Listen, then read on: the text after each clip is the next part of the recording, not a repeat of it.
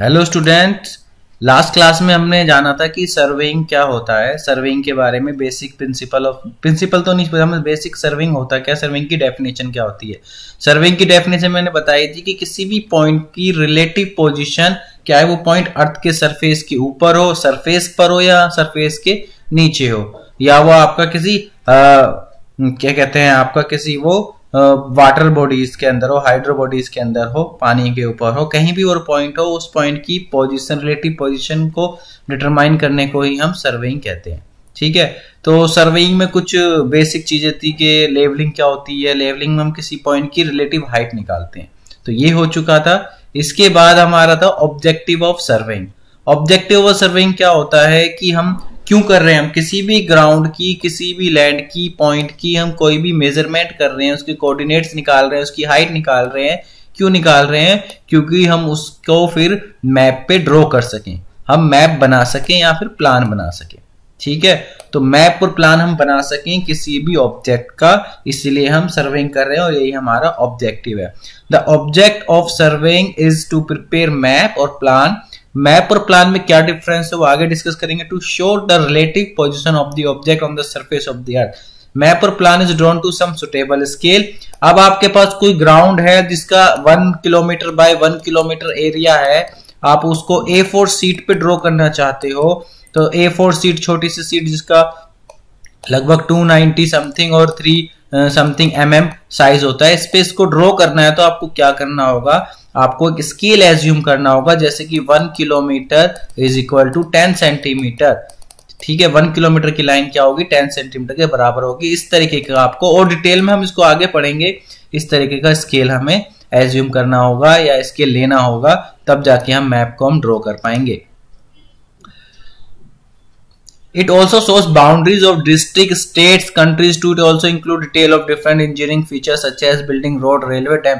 अब ये जो मैप और प्लान हम बना रहे हैं ये भी बहुत काफ़ी तरह के हो सकते हैं जैसे कि आप किसी बिल्डिंग का प्लान बना रहे हो डैम का प्लान बना रहे हो किसी आप ऐसा प्लान बना रहे हो इसमें स्टेट दिखा रहे हो कंट्री दिखा रहे हो बाउंड्रीज दिखा रहे हो आर्मी एक्टिविटी दिखा रहे हो या आप जियोलॉजिकल एक्टिविटी दिखा रहे हो इस तरह के मैप्स को आप क्लासिफाई कर सकते हैं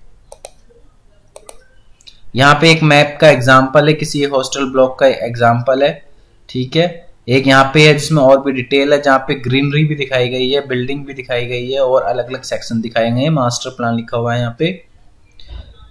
एक प्लान ये है आपका, एक मैप ये है आपका गुड़गांव का मैप है जिसमें रोड्स हाईवे दिखाए गए हैं और एरिया दिखाया गया है, कौन सा इंडस्ट्रियल एरिया कौन सा रेजिडेंशियल एरिया है। यूजेज ऑफ़ सर्वेइंग तो सर्विंग में भी use the following purpose to prepare topography map topographical map होता है, जिसमें हमारा ग्राउंड की, जो कैरेक्टरिस्टिक है ग्राउंड की जो प्रोफ़ाइल है, वो हमें पता चलती है, कहाँ पे डेप्थ है, कहाँ पे हाइट है, वो पता चलता है। Shows hills valley river forest village and town etcetera the prepare of cadastral map which allows boundary field plot house and other properties cadastral map उसे बोलते हैं जहाँ पे किसी प्रॉपर्टीज़ के बारे में बताया गया होता है। To prepare engineering map which shows the position of engineering work such as building road railway dam इस तरह के ऑब्जेक्ट्स uh, का जब मैप होता है उसको हम क्या बोलते हैं? Engineering map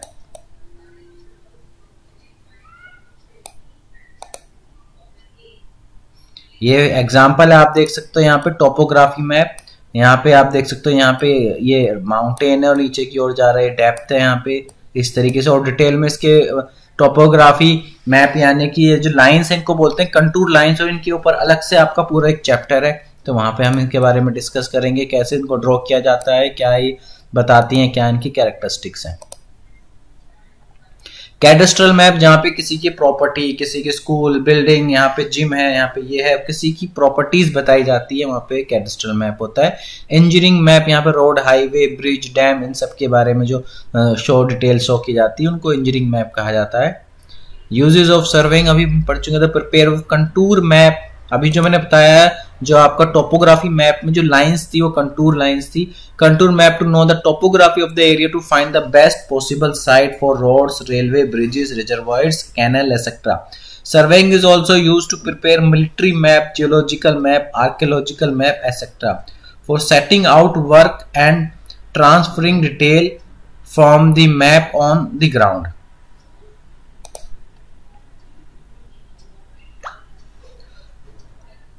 contour map. ये कंटूर मैप है और ये जो लाइन है, कंटूर लाइन है और ये शो क्या कर रही है? टोपोग्राफी शो कर रही है ग्राउंड की। मिलिट्री मैप जहाँ पे मिलिट्री एक्टिविटी के बारे में बॉर्डर या बॉर्डर के बारे में, इन सब के डिटेल में बाउंड्रीज के बारे में डिटेल में बताया जाता है मिलिट्री मैप कहलाता है।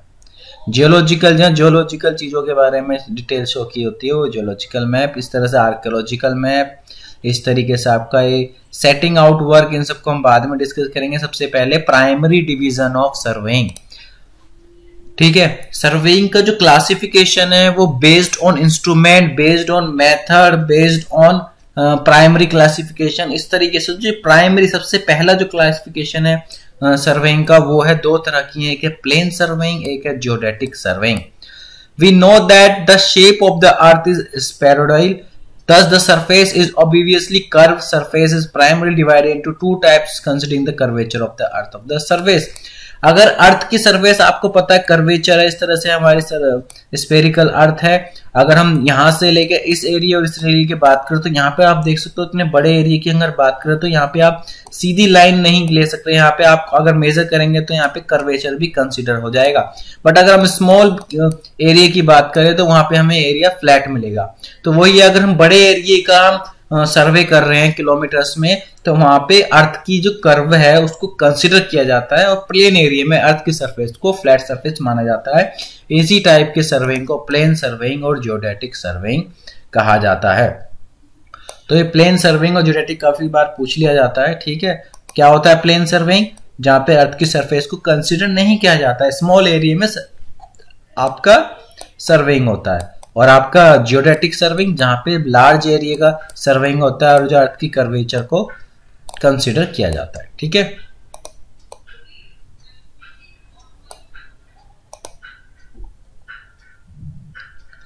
डेफिनेशन पढ़ लेते हैं। The plane surveying is that type of surveying in which earth surface is consider as a plane earth की सरफेस को क्या कंसिडर किया जा रहा है? Plane the curvature of the earth is ignored in such surveying line joining of two station consider straight अगर दो station यानी स्टेशन इन दो पॉइंट ए और बी की जो लाइन ज्वाइनिंग होगी, वो क्या होगी? बिल्कुल स्ट्रेट कंसिडर किया जाएगा। The triangle form by the three point is consider as a plane triangle earth की सरफेस पे जो अगर कोई ट्राइंगल हम बनाते हैं, तीन पॉइंट से ए बी सी तो इन, क्योंकि हमने पढ़ा दो स्टेशन के बीच की लाइन को हम स्ट्रेट लाइन कंसिडर करेंगे प्लेन सर्वेइंग में तो ये क्या हो जाएगा? ये प्लेन ट्राइंगल हो जाएगा. And the angle of the triangle are consider to be plane angle और ये एंगल क्या होंगे? प्लेन एंगल होंगे. ठीक है? प्लेन सर्विंग में. The surveying is carried out for a small area is less than 250 kilometre square ये याद रख लेना, ये कॉम्पिटिटिव एग्ज़ाम में आपका पूछ लिया जाता है। तो 250 किलोमीटर एरिए से कम के एरिए में हम कंसिडर करेंगे अर्थ की सरफेस को plane it's carried out by local and state agencies like R and B department irrigation department railway department ठीक है?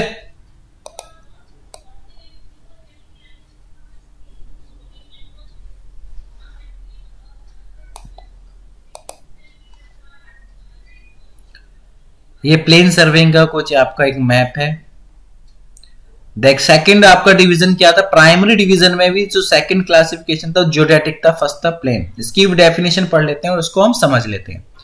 The geodetic surveying is that type of surveying in which the curvature of the earth is taken to account curvature of the earth consider किया जा रहा है। Curvature आप समझ रहे हैं ना, इस तरह की surface it generally extend over large area बता चुका हूँ मैं लार्ज एरिया में ही इसको कंसिडर किया line joining any two station consider as curve line A और बी की लाइन को हम कंसिडर कर रहे थे स्ट्रेट लाइन प्लेन सर्विंग में। क्योंकि ये बहुत ज़्यादा लंबी लाइन है तो इसको हम कंसिडर करेंगे कर्व लाइन इस तरीके से। The triangle form by three point to be spherical and angle है triangle to be spherical angle अगर आप कोई ट्राइंगल होगा, वो इस तरीके से बनेगा आपका ट्राइंगल यहाँ पे लाइन स्ट्रेट नहीं है, आप देख रहे हो यहाँ पे लाइन कैसी है कर्वी और यहाँ पे एंगल क्या है कर्वेचर एंगल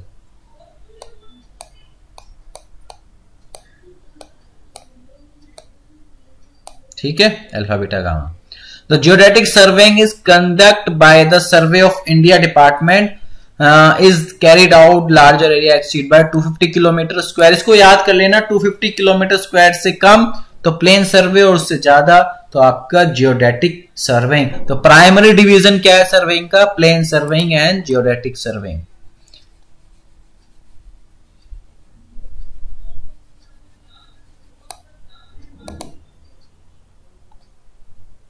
यहाँ पे आप देख सकते हो, यहाँ पे जियोडेटिक डिस्टेंस ये दिया हुआ है यहाँ पे। अभी इन डायग्राम को समझने की इतनी ज़्यादा ज़रूरत नहीं है।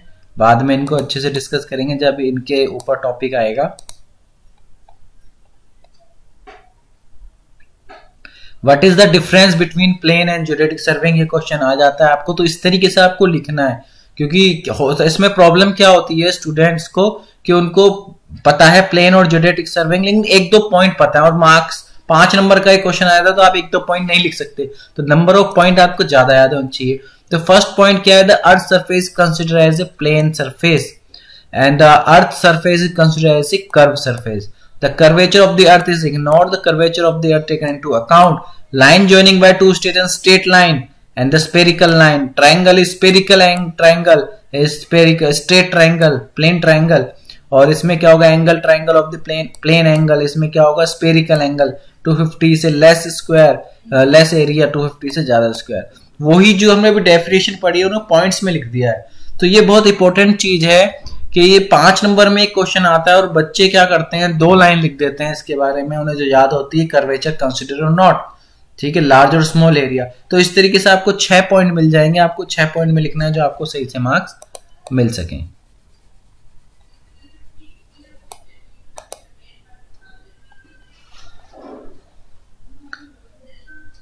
इसके बाद है आपका fundamental principle of surveying two basic principles होते हैं। ठीक है, आज इनको डिटेल में नहीं पढ़ेंगे, हम इनको नेक्स्ट लेक्चर में डिटेल में पढ़ेंगे। आज के लिए इतना ही पढ़ेंगे, लेकिन आपको एक बार डेफिनेशन पर रीड कर देता हूँ मैं, थोड़ा सा जो idea two basic principle always work from whole to part first principle second principle to locate a new station by at least two measurement linear और angular from fix reference point ठीक है, ये दो प्रिंसिपल हैं, बहुत important principle हैं, बहुत ज़्यादा पूछे जाते हैं आपके एग्ज़ाम में। ठीक है? और मैं भी अगर आपका एग्ज़ाम कोई लूँगा तो ये ज़रूर क्वेश्चन दूँगा। एक what is the principle of surveying basic principle of surveying interview में भी ये पूछे जाते हैं। ये दो क्वेश्चन तो ये जो दो क्वेश्चन हैं, ये आपको मैं अगले लेक्चर में डिटेल में बताऊँगा, क्योंकि इसमें प्रॉब्लम क्या होती है? स्टूडेंट्स को आते हैं ये, लेकिन वो उसके बारे में बोल कम पाते हैं, लिख कम पाते हैं। प्रॉब्लम ये आती है और ये ज़्यादा मार्क्स का आता है। इसमें यही प्रॉब्लम आती है, ठीक है? तो उसको नेक्स्ट लेक्चर में हम इसको डिस्कस करेंगे। आज के लेक्चर के लिए इतना ही, ठीक है? Thank you very much